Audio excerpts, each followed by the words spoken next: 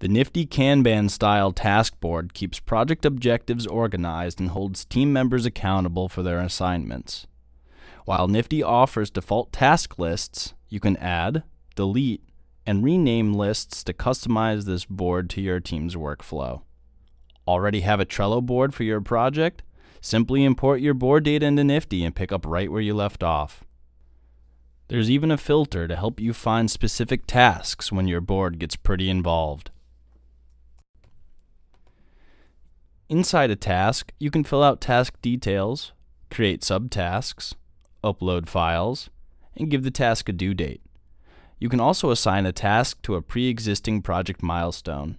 This is an important feature we'll cover more in the roadmap and overview sections of our tutorial.